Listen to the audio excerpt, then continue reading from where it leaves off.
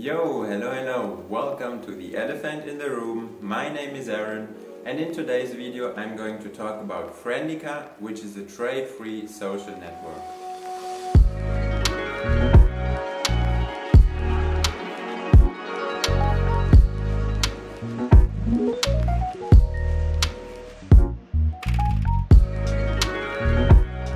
So maybe you've watched the documentary The Social Dilemma and if you haven't yet then I would still recommend it to you even though I am criticizing the documentary because it misses some very important points. Like of course they showcase very well how fucked up those platforms like YouTube, Facebook, Instagram and so on are and what their negative consequences are but what they miss is the point of why are those companies um, or platforms doing these shitty things like why do they want as much data and attention as possible from you or from the user? And that's because of they have an incentive because our trade-based society incentivizes companies to put profit above anything else and that's what pushes those companies to yeah, get you hooked to the platform, to promote any kind of bullshit, to show you ads, to track you, um, because that means more profit for them, more revenue for them.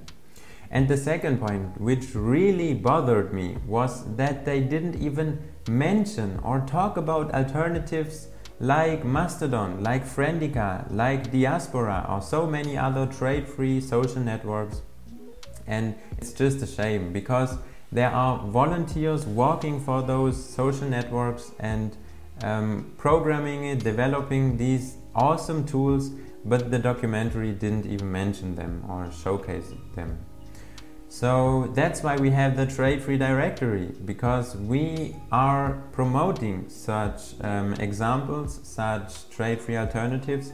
And let's um, check it out now. Let's search for some social networks. So and when we search for social network, we get different results. Like um, one example is WT Social, which is this one. I think it is created um, by Jimmy Wales, which is the co-founder of Wikipedia. Um, but as you can see here, it has not that good of a rating, so um, it might be not entirely trade-free. There are better alternatives like Mastodon or Diaspora or Scuttlebutt or also Friendica. And I want to talk about um, Friendica now. And basically what you can see here, there is also friendica.social but this is um, the list of instances, but I will talk about that in a second. So let's just open the website of Friendica. We can close this one here. And um, here we can see a description of the network, um, basically its features and everything you can do. Basically, it's just like any other social network where you can create posts, you can share photos, you can create events and um, yeah, have a public profile and all that. Um, some of its key features are um, that it's decentralized and that means that it is different like Facebook because in Facebook, Facebook the company has control over it. You join their servers and they have access to your profile, they can collect data about you. But in Friendica, it is um, different. You can take the source code, you can host it on your own server, create an own instance, that's how it's called, and then um, you can communicate with other instances, and that makes it decentralized. So you see, there's no um, one single entity controlling it, but there are more um, different communities, different villages, if you will, um, and they can communicate with each other. And that's how the internet was supposed to be actually. It is a shame that all those uh, monopolies in the game of trade like Google and Facebook took over control and have now control over billions of people worldwide. Um, then another key feature is privacy. So it's unlike Facebook where Facebook collects everything you do and all your information um, in Friendica you don't have that because you know there's no incentive in Friendica it doesn't want anything from you. It doesn't want your attention. It doesn't want your data because it doesn't make money. It doesn't engage in those trades because it has no business model. So that what it makes private. Of course you need to provide some information like a name an email address and all that. But I mean actually that's the point of a social network right? And then you can also of course take a fake name or so um, so yeah and the other key feature is interoperability. Basically there is this super amazing protocol called ActivityPub which allows um, Friendica to communicate with other social networks like Funkwhale, Hubzilla, Mastodon, Pleroma and so on. And that is super cool because if I now have my um, Friendica account and I want to follow a Mastodon account, I can just simply do so because of that protocol.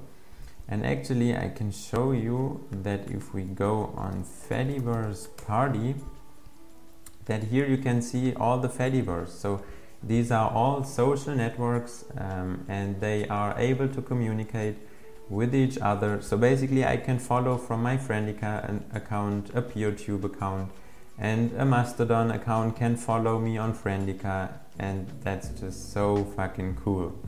Like I just love that thing. Because of course I'm also following different and several uh, Mastodon accounts and so on. If we scroll down uh, we can see here the list of public servers and basically that's now also the trade free directory entry um, which also leads us to the uh, servers list and we can um, filter those servers by uh, language so if we just select English now you can see here different um, instances of Friendica and also their health score um, basically yeah, I don't know exactly what it shows, probably how well it is maintained. Um, so of course I would recommend you some instances from the top because um, yeah, I guess they are just better maintained. Um, I personally joined Venera.social. I don't know why it has 95% of that health score, but like it is managed by one of the developer of Friendica so I guess um, I don't have to worry about that he's um, taking care of it and um, yeah I want to show it to you now. So if you just click you can also of course join other instances. Maybe there are um, different instances for different kinds of interests or hobbies or um, yeah stuff like that different topics. And um, yeah that's how it looks like. So I think it is super minimalistic and super um, light also. I mean, I can also just close those ones. So yeah, I think you can see it just looks clean and also super cool.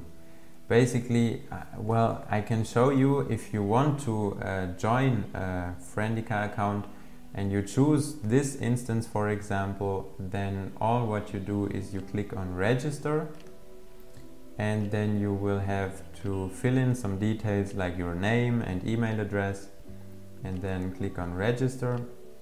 And then from what I remember is you will get an email where your password will be sent. And um, after that you can just change the password if you go on um, I can show it to you here on settings and then password settings and you just create a new password. But yeah, before I show you the settings, I want to show you the conversations from your friends. So basically these are the um, different accounts that I'm following, different people that I'm following and what they are posting. And um, yeah, I can of course then comment those posts like in any other social network of course. And then here are my posts and my conversations. So basically, um, that's what I'm posting and what I'm sharing, and um, yeah, basically my profile. But let's keep uh, continuing here. Here are the conversations of um, this server and other servers. So basically, just what people are talking about um, on other servers, what their thoughts are, their posts, and so on. Um, there's also the local community, so just about this server here. Here are the direct messages, like if you communicate with someone directly, and then you can of course also communicate with someone from Mastodon, from a Mastodon instance, and chat with them of course. Here are events. Um, haven't checked out this feature yet, but I guess you can just create events and then um, yeah invite people to those and here are uh, my contacts basically the people I'm following. And here are notifications like um, whenever someone mentions you or posts um, to you something or so. So yeah that's um, the main menu here kind of. So now I want to show you how you can follow different organizations or people from other Fediverse accounts like Mastodon for example or also how you can subscribe to a website via RSS feed. So if you want to follow the Mastodon account of the Tor project for example, um, I can just go on their website torproject.org and I can scroll to the bottom where their Mastodon account is linked to. So as you can see it looks like this and now there is this little address so saying at Tor project at mastodon.social and now I can just um, paste that here in the search bar. I can search for it and then I can follow that account. So um, whenever they post something on Mastodon I can also see that on my Friendica feed. And then here I can contact them directly send a message um, and if I go on contact settings I also have some um, features. For example I can natively reshare what they are posting. Um, so that can also be useful cool kind of thing. And um, yeah so that's how it looks like. And then what I also wanted to show you is that you can see their profile if you just go here on status. And there you can see what they are sharing and posting um, so um, but yeah now you will get it directly into your feed. And now if we want to add an RSS feed we can just go um, on yeah let's take the Trade-free directory and the RSS feed from um, software and hardware for example. So we can just um, paste it here again and it will search for the feed and now we can just um, click here on follow and then we get also um, notifications whenever there is something added to the software and hardware category.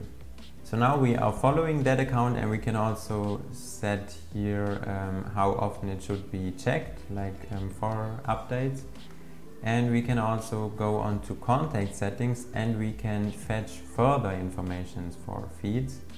So uh, we can fetch information, keywords or both. Um, and another cool thing which might be useful for you um, is that you can mirror those posts as either forwarded or as my own posts and that can be useful for um, like if you have an organization um, and then you want to um, post such things from a directory also automatically Actually, I can show it to you. That's what we did with our Trom page. So, um, as you can see, I just click on accounts and then I can switch between my accounts. I created the Trom project page in German and I subscribed to the RSS feed called social.tromsite.de because we created that page and we are automatically posting memes like twice a day and then we subscribed via RSS feed to that website and now automatically those posts are going here.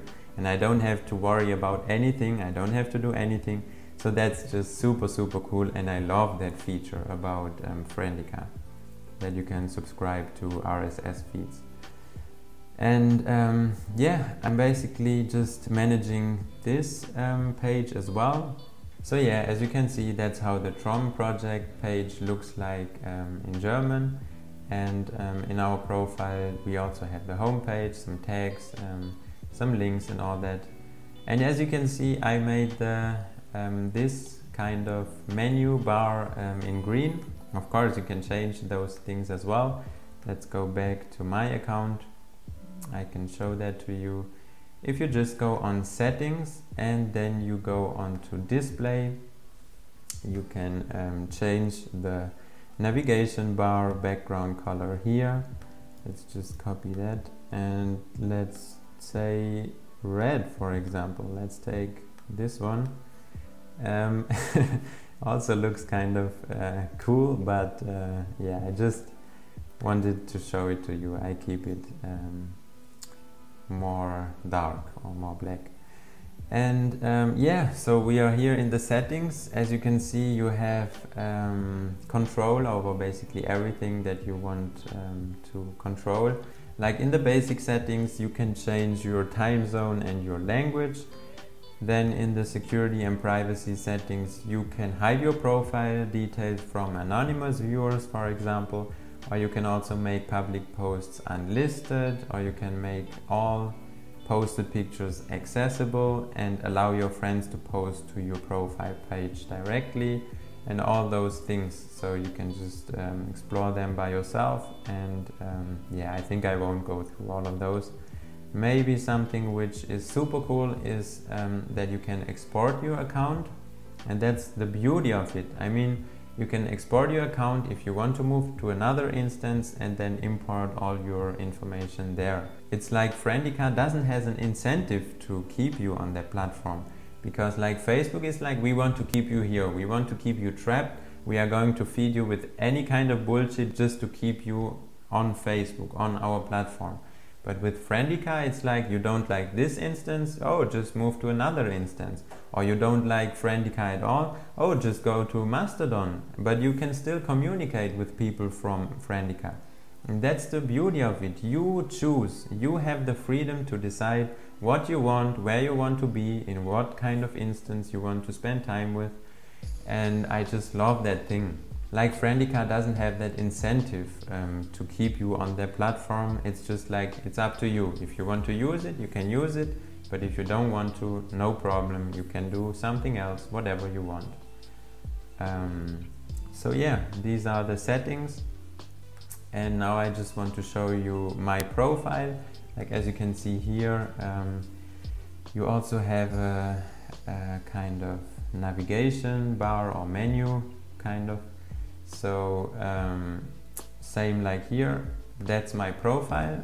I have my homepage here, some text, some projects of ours, um, and a short description here. And as you can see, you can um, see my contacts here. Then on the status page, there's everything that I'm sharing. I'm sharing stuff in English and in German, um, and also posting in English and German so um, yeah I don't know I just yeah want to share in both languages here are some photos that I shared. I don't have any videos yet. Here is the events page. Again same with here. Uh, personal notes. I never checked that out. Maybe that's also a cool thing. And then my contacts again. And here you also have that menu contacts messages, notifications, accounts, and settings here. So um, yeah, I think that's the cool overview over um, Friendica. I think it is just such a cool social network. I just love it, and I am sure that I don't get um, like fucked over by Friendica because as you can see there are no trackers on the platform and I think yeah the links that are here are just probably from people I'm following or from Mastodon so there are no ads no um, trackers no bullshit. And that's it is pure it is clean. And that's what I love. And as you can see here um, now these are the posts from the software and hardware category of the Tradefree directory. And um, yeah so you can you decide what information do you want to get out of the internet. You can also follow rss feeds from um, blogs or from um, newspapers or so and that's i think it just gives you the freedom of um, you have control over that social network and that's how it should be so now i just want to also um, show you an article wrote by Tio. Uh, it's kind of, he, he wrote two articles about it. There is the beginner's guide to Friendica, which can be also super useful for the beginner, like if you have never spent time on their platform. He's also explaining how you can even follow uh, Twitter accounts. And I mean, what the fuck?